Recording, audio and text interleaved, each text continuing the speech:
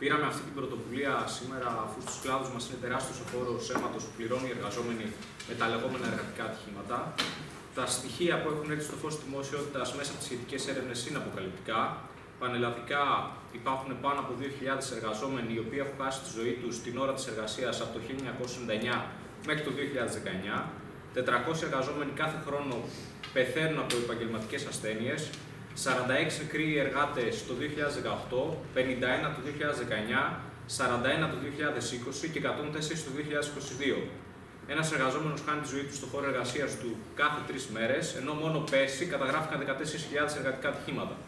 Στη Θεσσαλονίκη θρυνήσαμε πέρσι 7 νεκρούς και είχαμε άλλους 13 σοβαρά τραυματίες. Ενώ το πρώτο τρίμηνο της φετινής χρονιάς έχουν χάσει τη ζωή τους 49 συνάδελφοι, εκ των οποίων οι 7 είναι στην πόλη μας. Στον κλάδο του επιστημισμού έχουν γίνει σχεδόν συνώνυμο με τον εργατικό ατύχημα τα ατυχήματα στους διανομή με το μηχανάκι. Είναι εύλογο καθώς 53 συνάδελφοί μας έχουν χάσει τη ζωή τους την τελευταία εξαιτία πηγαίνοντας στην τελευταία παραγγελία τους, ενώ και τα ατυχήματα που δεν έχουν νεκρούς είναι πολύ συχνά. Δεν είναι όμως μόνο οι διανομή ευάλωτοι σε ατυχήματα κτλ. Ο κλάδος έχει πολλά παραδείγματα στο, όσον αφορά το ζήτημα των εργατικών ατυχημάτων. Έχουμε τα καψίματα και τα κοψίματα στις κουζίνες από τους μάγειρε και τους βοηθούς τους. Έχουμε τα μειοκυτοσκελετικά προβλήματα που αποκτάνε σε επιτόρι, οι ζαχαροπλάστες, οι λατζιέρες, από την οδοστασία και από τα βάρη που σηκώνουν. Οι αναφορές που κάνουμε δεν γίνονται για να κλάψουμε τη μοίρα μας, δεν αναφερόμαστε σε αυτά για να δείξουμε πόσο ευάλωτοι είμαστε. Απλά ξεκαθαρίζουμε ορισμένα πράγματα. Δεν είναι η κακιά στιγμή. Ατυχήματα στον κλάδο γίνονται όπως και στους υπόλοιπους κλάδους, γιατί για την εργοδοσία η πρόληψη κοστίζει, ενώ σε περιπτώσεις ατυχήματος μπορεί να μην πληρώσει και τίποτα. Οι φωτιές που παίρνουν οι κουζίνες παίρνονται επειδή δεν καθαρίζονται τα φουγάρα πάνω από τις χάρες. Διαδικασία που απαιτεί να μην καίνε εκείνη την ώρα οι χάρες. Πράγμα που σημαίνει ότι δεν θα έχει κέρδος ο εργοδότης. Από την άλλη, μια τέτοια διαδικασία απαιτεί προσωπικό να την κάνει την νεκρή ώρα, που σημαίνει παραπάνω εργατικά χέρια. Επομένως, πάλι κόστος για τον εργοδότη. Ότι όσον αφορά τους διανομής και τις διανομές σε ακραίες καιρικές συνθήκες, οι δικαιολογίες που ακούμε από τους ιδιοκτήτες πιστικών καταστημάτων και τις πλατφόρμες είναι πραγματικά αστείες. Αφήνουν το διανομέα και καλά να επιλέξει αν θέλει να γίνει παπί και να πάει μια παραγγελία, αφού πρώτα βάλουν τον μπαμπούλα της απόλυσης ή της μη πληρωμής, αν αρνηθεί να βγει ο συνάδελφος για διανομή. Είναι επομένως το κυνήγι του κέρδους αυτό που σακατεύει τους συναδέλφους στα γιαπιά, στα εργοστάσια, στις κουζίνες κτλ και το κράτος έχει βαριές ευθύνες. Όλες οι κυβερνήσεις που πέρασαν τα προηγούμενα χρόνια και νομίζουν τώρα προεκλογικά ότι θα τα ξεχάσουμε, έβαλαν το χέρι τους για τη διάλυση της επιθεώρησης της εργασίας και της τεχνικής επιθεώρησης. Έβαλαν όλη την τσίφρα τους στους αντεργατικούς νόμους που απαγορεύουν την απεργία, που ορίζουν τη δεκάωρη εργασία, που περιορίζουν δικαιώματα για τους εργαζόμενους.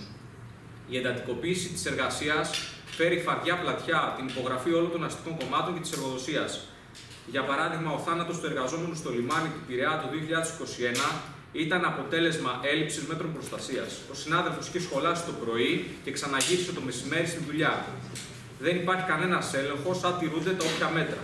Και πιο πρόσφατο παράδειγμα με τον εργαζόμενο στην Εμφή που πέθανε εν ώρα δουλειάς και ενώ το Σωματείο Τροφίμων Ποτών ζητά αυτή τη στιγμή από την επιθεώρηση εργασίας να παρέμβει για έλεγχο για τους λόγους θανάτου, η υπηρεσία ακόμα δεν έχει εμφανιστεί.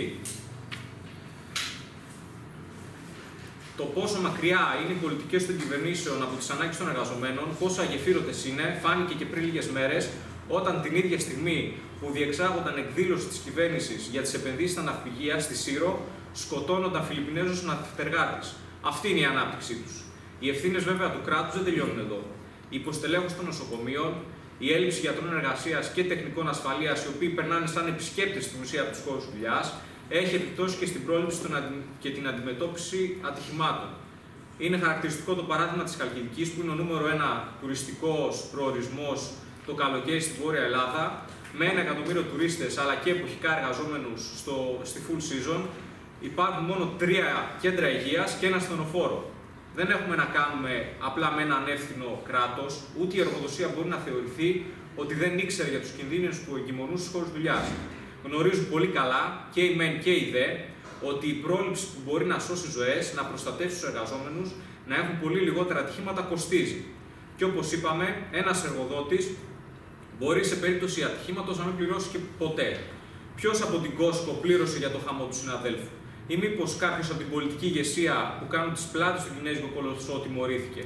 Μένουν στο απειρόβλητο ακριβώς επειδή οι νόμοι του κράτους προστατεύουν τα κέρδη του εργοδότη και όχι την υγεία και την ακαιρεότητα του εργαζόμενου. Τα σωματεία μας δεν ξεχνούν το σύνθημα που ένωσε δεκάδες χιλιάδες λαού πριν λίγες μέρες στα τέμπη, ή τα κέρδη τους ή οι ζωές μας. Γι' αυτό ονόμασε τους χώρους δουλειάς μικρές κοιλάδες φωτοπών. Γιατί οι αιτίες που σκοτώνονται κάθε χρόνο εκατοντάδες εργάτες, που σακατεύονται ακόμα περισσότερο, είναι κοινές. Η ανταγωνιστικότητα των επιχειρήσεων, η ανάγκη για κέρδος, το κυνήγι των επενδύσεων. Η ανάπτυξη των λίγων δηλαδή, που χτίζεται βουτυγμένη στο αίμα των εργαζομένων. Δεν ξεχνάμε τους αδικοχαμένους συναδέλφους μας, τους εργαζόμενους που πλήρωσαν με τη ζωή τους τα κέρδη των αφεντικών και σε αυτή την κατεύθυνση αποφασίσαμε να προχωρήσουμε στην ανέγερση μνημείου προς τιμήν των νεκρών της Θεσσαλονίκης και ανακοινώνουμε σήμερα την έναρξη διαγωνισμού όσον αφορά αυτό το μνημείο που θα αναδεικνύει τον άδικο χαμό των συναδέλφων μας αλλά και την πάλη μας να γυρνάμε σόι και αυλαβεί από το μεροκάματο. Απευθύνουμε κάλεσμα για να συμμετέχουν ερασιτέχνες και επαγγελματίες καλλιτέχνες με τα έργα τους, Όλοι όσοι συμμετέχουν θα βραβευτούν σε εκδήλωση για την υγεία στους χώρους ε, εργασίας που θα γίνει στα μέσα Ιούνιου. Εκεί θα γίνει και η επιλογή του έργου που θα αποτελέσει το μνημείο, ενώ για τις τεχνικές λεπτομέρειες θα ανακοινωθούν περισσότερα ε, την Πρωτομαγιά.